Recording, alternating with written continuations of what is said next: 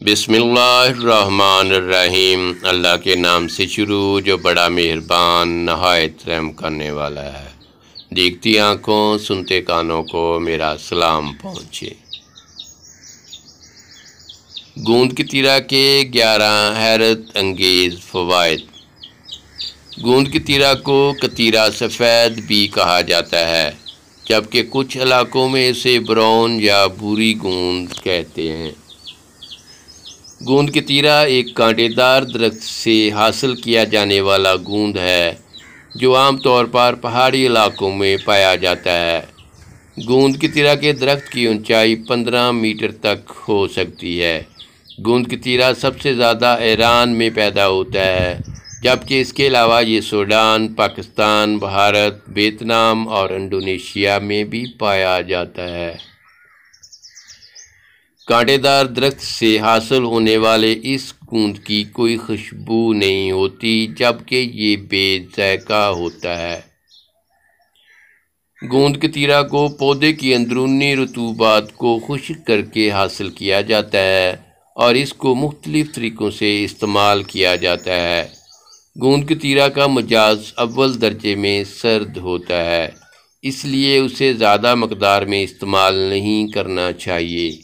गूंद की तीरा को सैकड़ों सालों से सेहत को बेहतर बनाने के लिए इस्तेमाल किया जा रहा है, क्योंकि गूंद की तीरा के गज़ाई अज्जा बहुत मफीद हैं। इन अज्जा में कैल्शियम, प्रोटीन, मैग्नीशियम और कुछ ख़ास किस्म के अल्काइड्स पाए जाते हैं। इसके साथ साथ गूंद के तीरा में एंटीऑक्सीडेंट एंटी बैक्टीरियल और सोजिश को कम करने वाली खसूसियात पाई जाती हैं। गूंद के तीरा को, पौधे की अंदरूनी रतूबात को खुशक करके हासिल किया जाता है और इसको मुख्तलिफ़ तरीक़ों से इस्तेमाल किया जाता है। गूंद के तीरा का मजाज अव्वल दर्जे में सर्द होता है। गर्मियों के दिनों में गूंद की तीरा को बाकायदगी के साथ इस्तेमाल करने से मंदरजा ज़ैल फ़वाद हासिल किए जा सकते हैं। मदाफ़ती निज़ाम की मजबूती में इजाफ़ा गूंद के तीरा में पाए जाने वाले मुफीद गज़ाई अज्जा मेथी दाना की तरह कुत मदाफ़त को मज़बूत बनाते हैं। कुत मदाफ़त मज़बूत होने से जिसम में अजाफ़ी तोानाई जमा होती है और ताकत में भी अजाफ़ा होता है। जल्द के लिए बेहतरीन। बढ़ती हुई उम्र के असरात की वजह से इंसान के चेहरे पर जुरियाँ आना शुरू हो जाती हैं। जिनसे छुटकारा हासिल करने के लिए गूंद की तीरा को बहुत मुफीद समझा जाता है। गूंद की तीरा जल्द में मौजूद खुलियों को सेहतमंद रखता है और इन जरासीम को ख़त्म करता है, जो जल्द को ख़राब करने का बायस बनते हैं। इसके साथ साथ ये एंटी एक्सीडेंट्स और सोजस को कम करने वाली खसूसियात की बुनियाद पर चेहरे पर ज़ाहिर होने वाले दानों और दाग धब्बों से भी बचाता है। नाक से खून बहना। अगर आपके नाक से अक्सर खून बहता है या नक्सीर फूटती है तो गूंद की तीरा का पानी नहायत मुफीद साबित हो सकता है। आमतौर पर गर्म मजाज वाली गज़ाएँ वाफर मकदार में इस्तेमाल करने या शदीद गर्मी के मौसम में नाक से खून बहना शुरू होता है। गूंद कतीरा के पानी इस्तेमाल करने से जिसम का दर्जा हरारत मतदिल रहता है, जिसकी वजह से नक्सीर फूटना बंद हो जाती है। कमज़ोरी का ख़ात्मा। गूंद की तिरा भी गन्ने के रस की तरह कमज़ोरी को दूर करने के लिए बहुत मुफीद समझा जाता है।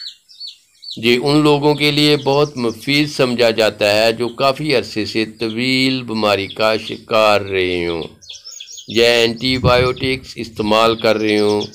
गूंद की तीरा में दवा जैसी खसूसियात पाई जाती हैं, जो बीमारी के बाद होने वाली कमज़ोरियों को ख़त्म करती हैं।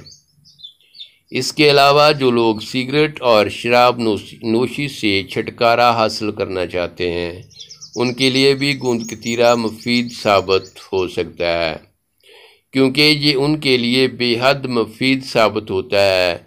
गूंद कतीरा खून में शुगर की सतह को बढ़ने नहीं देता और शुगर लेवल को मतवाजन रखता है। दिल की सेहत में बेहतरी। गोंद की तीरा को भी सना मक्की की तरह दिल की सेहत को बेहतर बनाने के लिए मुफीद समझा जाता है। ऐसे अफराद जो कस्ट्रोल की बीमारी में मुबतला हों, इनमें दिल की बीमारियों के ख़तरात बढ़ जाते हैं। इसके अलावा कैस्ट्रोल का लेवल बढ़ने की वजह से फालज और हार्ट अटैक का ख़तरा भी बढ़ जाता है। गोंद का बाकायदगी के साथ इस्तेमाल कस्ट्रोल की सतह को मतवाजन रखता है, जिसकी वजह से इन तमाम जानलेवा बीमारियों के ख़तरात कम हो जाते हैं। हीट स्ट्रोक का बेहतरीन इलाज। शदीद गर्मी के मौसम में बहुत से लोगों को हीट स्ट्रोक का सामना करना पड़ता है। और अगर आप भी ऐसे लोगों में शामिल हैं तो परेशान होने की ज़रूरत नहीं, क्योंकि गूंद कतीरा को हीट स्ट्रोक का बेहतरीन इलाज समझा जाता है।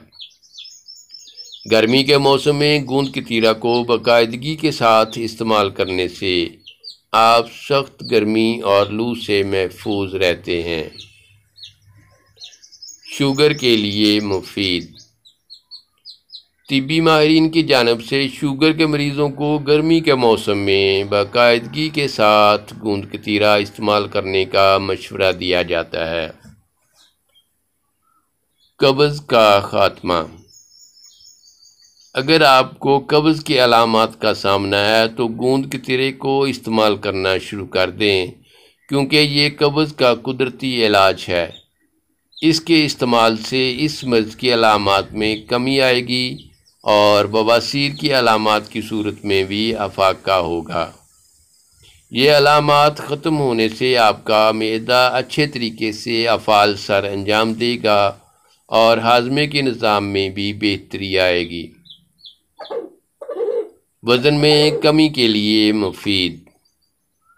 जिसमें मेटाबॉलिज्म सुस्त होने की वजह से फालतू चर्बी से छुटकारा पाने में मुश्किल का सामना करना पड़ता है।